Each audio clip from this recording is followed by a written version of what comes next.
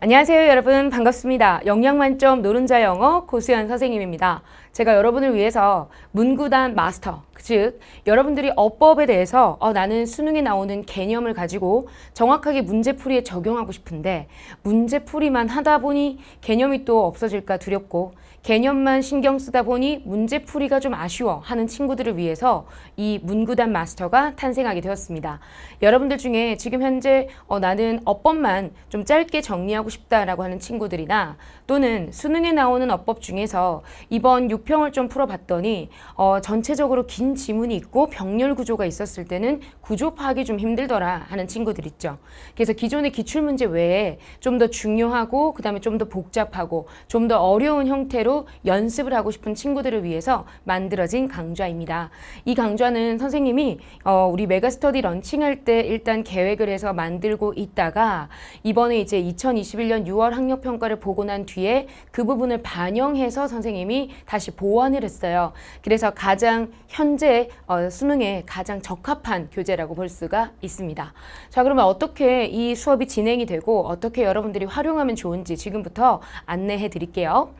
어, 일단 컨텐츠가 어떻게 구성이 되어 있냐면 1번부터 5번까지 여러분들이 딱 보시면 돼요. 첫 번째는 어, 출제 빈도로 가장 적합하게 많이 나오는 것들이 무엇이냐. 그래서 순위를 매겼습니다. 랭킹 1위부터 6위까지. 그래서 그것이 우리의 챕터 1부터 그 다음에 챕터 6까지 네, 6까지 이렇게 있고요. 챕터 1과 2가 가장 중요합니다.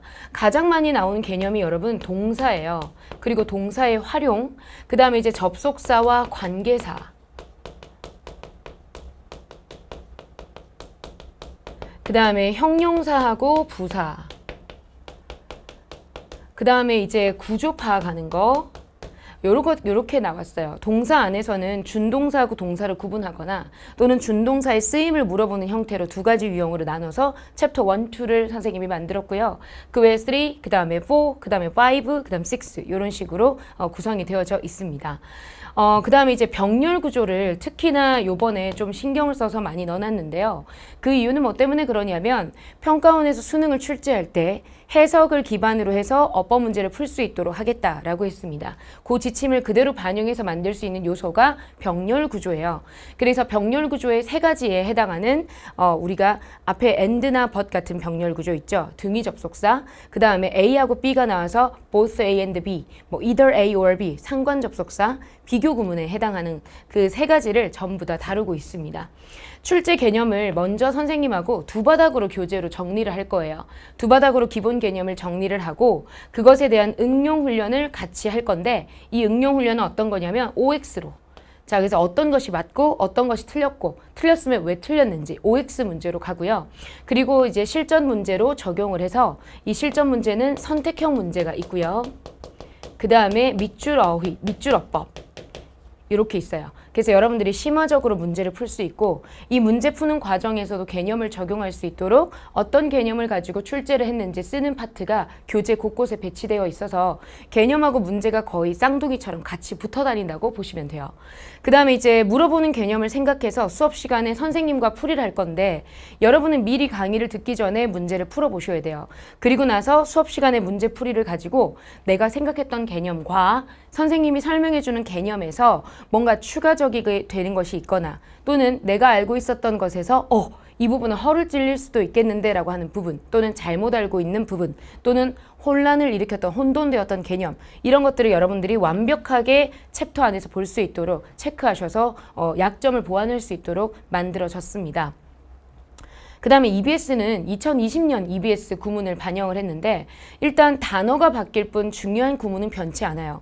그 다음에 두 번째는 어 그래도 가장 많이 나왔던 지문들 중에서 조금 더 이제 긴 지문을 가지고 있고 긴 문장을 가지고 있는 문제가 EBS 구문이었어요.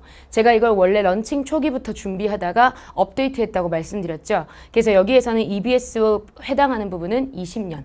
그 다음에 이제 연계를 대비하겠다라는 말은 어 실질적으로 어법이 그대로 나오진 않아요. 근데 이런 형태의 패턴을 여러분들이 봐주시면 되겠습니다. 자, 기출 개념 패턴 부분과 그 다음에 실질적으로 어려운 구문에 적용을 해서 선생님이 이런 문제는 이렇게 봐야 된다라는 가이드를 잡아 드릴 거예요. 그리고 부가적으로 긴 문장이 나왔을 때 어디서 끊어 읽기를 해야 되고 어떻게 우리가 아이디어를 보셔야 되는지 어떻게 끊어 읽고 어떻게 여기까지 어, 개념에 대해서 이런 부분이 해석이 되고 있구나. 이런 부분의 의미를 나타내고 있구나. 라고 하는 부분들을 문장 구조를 잘 볼 수 있게 가이드를 해드려요.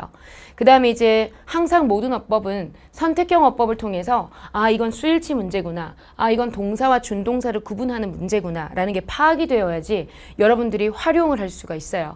그래서 제일 먼저 선택형 어법부터 우리가 연습을 하고 그리고 나서 밑줄 어법으로 어, 활용을 하게 될 겁니다 자, 총 12회 완성입니다. 챕터가 1부터 6까지 있죠. 챕터 하나당 두 개의 강의가 이루어지는데 개념 파, 개념과 그 다음에 이제 문제풀이 활용 이렇게 나뉘어지게 될 겁니다. 그래서 여러분들의 12회 완성이니까 마음 먹고 나는 일주일에 두 회씩 보겠다. 그러면 6주면 끝나고요. 나는 그래도 챕터 하나씩, 챕터 두 개씩 보겠다. 그렇게 하셔도 여러분들이 완성을 할 수 있어요. 또는 나는 정말 매일매일 하나씩 보겠다라고 하시면 여러분들 당연히 어떻게 완성을 할 수 있느냐. 그냥 한 달 안 돼서 15일, 2주만으로도 완성을 할 수가 있습니다. 그런데 이 압축 개념과 그 다음에 문제풀이가 여러분들한테 하나씩 하나씩 효용 있게 다가가기 위해서 선생님이 꼼꼼하게 스튜디오 강의로 어, 촬영해서 올립니다. 일정도 밀리지 않을 거고요. 여러분은 어떻게 활용하시면 되느냐? 교재를 보고 미리 예습하고 수업을 듣고 그리고 다시 적용하는 복습의 과정을 이루면 되는데 복습 시간이 많이 필요한 것은 아니에요. 수업 시간에 선생님과 같이 공부했었던 개념에 대해서 아, 헷갈리거나 혼돈되었던 거, 몰랐던 내용, 그리고 잘못 알고 있었던 내용 이 부분을 체크하셔서 이 부분만 여러분들이 복습해 주시면 약점이 완벽하게 보완이 되는 그런 강좌입니다. 자, 이렇게 해서 선생님과 같이 문구단 마스터를 통해서 어법에 대한 걱정은 이제 끝내고 3점 문항이지만 우리가 또 소홀하게 다룰 수 없는 이 어법 개념에 대해서 그리고 복잡한 문장 구조는 어떤 식으로 우리가 분석할지 훈련을 열심히 해본다면 여러분에게 있어서 1등급은 먼 미래가 아니라 정말 가까이 와 있지 않을까 싶습니다. 선생님이랑 같이 열심히 공부를 해보도록 하고요. 우리는 이제 OT 강의를 마치고 어, 수업에서 뵙도록 하겠습니다. 여러분, see you later.